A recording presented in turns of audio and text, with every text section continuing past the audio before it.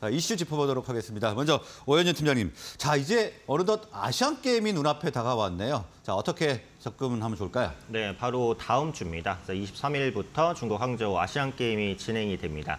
아, 사실은 이제 작년에 원래 진행 예정이 돼 있었는데 코로나19 때문에 1년이 어, 미뤄졌었죠. 그래서 아시안 게임이 미뤄졌고 지금은 미드 코로나가 진행이 되고 있는 상황이기 때문에 이전보다는 조금 더 높은 관심을 받을 수도 있겠다 이렇게 판단하고 있고요. 어, 특징적인 게 이제 다양한 e스포츠 종목의 경기가 진행이 됩니다. 19회 항저우 아시안 게임의 첫 정식 종목으로 네, e스포츠가 어, 채택이 됐습니다.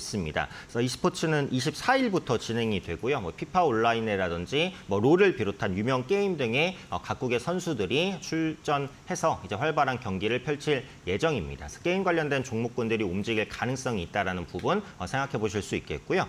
어, 국내 4대 금융그룹도 국가 대표팀에 대한 후원을 확대하고 있습니다. 신한금융 같은 경우에는 배구라든지 뭐 핸드볼, 유도팀을 후원하고 있고요. KB금융은 어, 수영과 어, 여자 골프 국가대표팀을 후원하고 있습니다. 그래서 그룹 이미지를 제고하는 데 도움이 될 것이다라고 보고요. 이전 대비 이제 아시안 게임 전반에 대한 마케팅비 집행 규모가 좀 확대되는 부분도 좀 관심에 어, 두셔야 될 부분이라고 생각을 합니다. 아, 이러다 보니까 이제 수혜주로는 이제 광고주 혹은 이제 어, 스트리밍 관련된 업체들이 수혜를 볼 수 있기 때문에 아시안 게임 관련된 주변주들을 한번 살펴볼 시기가 되지 않았나 판단하고 있습니다. 그래서 관심 종목으로는 관련주 내에서 아프리카 TV라는 종목을 가지고 왔는데요.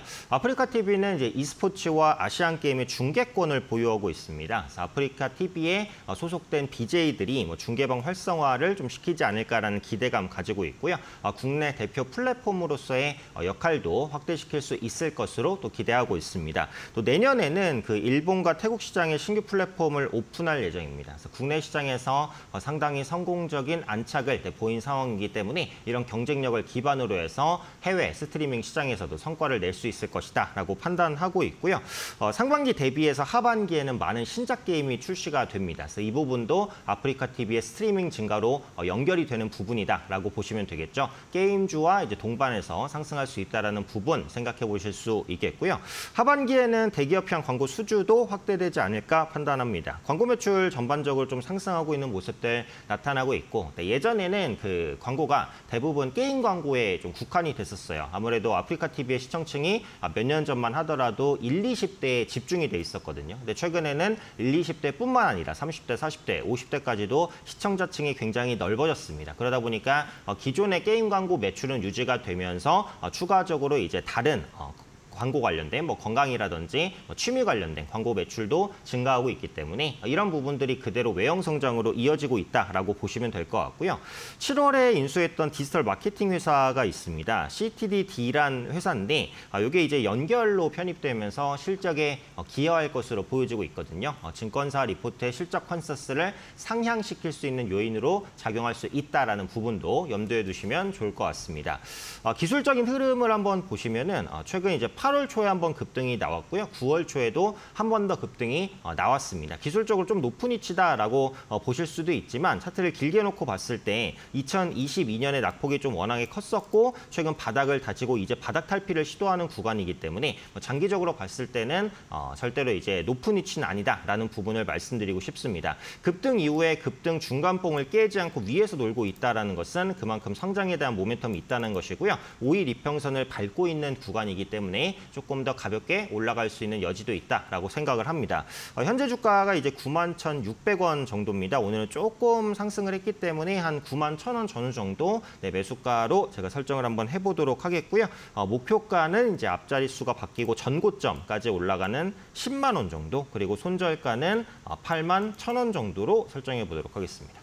네, 아시안 게임과 관련해서 이제 일주일 정도 남았는데요. 어, 중계권을 보유하고 있는 아프리카 TV 관심주로 분석을 해주셨습니다. 목표가는 10만 원 제시를 해주셨습니다.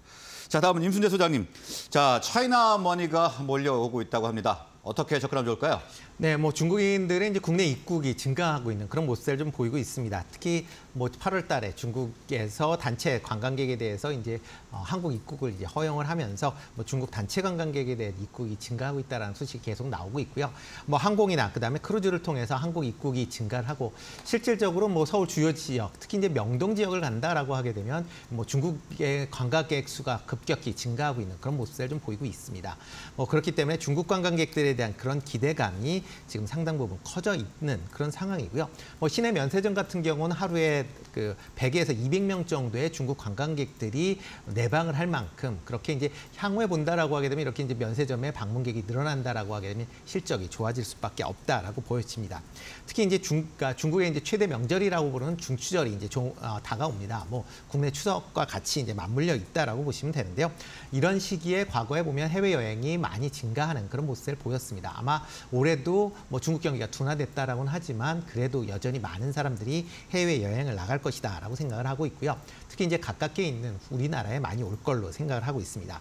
뭐 과거에는 이제 우리나라와 일본에서 이제 나눠 나눠서 이제 방문을 했다라고 하게 되면 최근에 이제 일본에서 이제 후쿠시마 오염수 이후에 바- 중국 내에 반일 감정이 상당 부분 커지면서 아마 여행들이 취소가 되는 사례가 좀 급증을 하고 있습니다. 그렇게 되면 상대적으로 국내에 수혜가 입을 걸로 예상이 되고 있고요.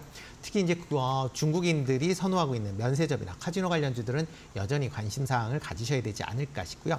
특히 이제 제주 같은 경우에는 뭐 중국이 오, 중국인에 대해서 5일간 무비자 여행이 지금 허용되고 있는 그런 상황이다 보니까 중추절을 맞아서 제주 중국 간의 임시편 15편 정도 항공편이 증설된다라는 것도 같이 관심 있게 보시면 어떨까 싶습니다. 어, 오늘은 이제 면세점 관련된 종목 중에서 어, 관세를 환급해 환급 대행을 해주는 그 어, 글로벌 텍스 프리를 좀 관심 있게 보시면 어떨까 싶습니다. 뭐 국- 외국인이 국내에서 구매한 상품에 부가가치세를 이제 환급을 대행해 주는 회사다라고 보시면 될 것 같고요. 뭐 국내 tax refund 시장의 시장 점유율이 50% 이상을 지금 차지할 만큼 상당 1등 업체다라고 보시면 되겠습니다. 특히 명동 상권 중심으로 해서 전체 뭐 가맹점의 60% 이상을 확보를 하고 있기 때문에 그만큼 중국 관광객들이 많이 와서 명동 지역을 돌아다닌다라고 하게 되면 그만큼 그 구매력이 증가할 수밖에 없다라고 보여지고요. 특히 정부에서 방한 외국인에 대해서 부가가치세 환급 기준을 상당 부분 완화를 했습니다. 그렇기 때문에 이런 영향으로 인해서 2분기에 실적이 상당히 좀 개선되는 그런 모습을 보였고요. 아마 3분기에도 이런 실적 개선세는 좀 이어질 것이다라고 생각을 하고 있습니다.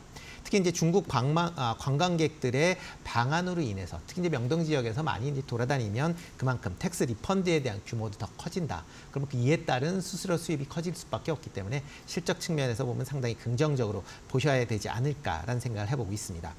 어, 최근 기- 어, 기관이 이틀 연속 한 15만 주 가까이 매수를 했고요. 뭐 지난 한 달 동안 본다라고 하게 되면 외국인이 255만 주, 그다음에 연기금이 24만 주를 살 만큼 지금 뭐 어, 외국인이나 기가, 기관, 연기금에서 꾸준히 관심을 갖고 있다라는 점도 주목해서 보시면 어떨까 싶습니다. 뭐 주가는 뭐 지금 8월 달 이후에 또 어, 가파른 상승세를 보였습니다. 그렇기 때문에 뭐 잠깐 조정은 있을 걸로 예상은 되고 있지만 어, 전반적으로 추세적으로 본다라고 하게 되면 중장기적인 관점에서 여전히 관심을 가지셔야 되지 않을까 싶고요. 오늘은 뭐 조금 조정을 보이지만 6,800원 선에서 매수하시면 괜찮을 걸로 보여지고요. 목표 가격은 7,500원, 선전은 5,500원에 하시면 좋을 것 같습니다. 네, 중국 관광객 증가에 대한 기대감으로 일단 글로벌 텍스 프리 관심주로 꼽아 주셨고요. 어, 목표가는 7,500원 제시를 해 주셨습니다. 자, 오늘 말씀은 여기까지 듣도록 하겠습니다. 두 분 고맙습니다.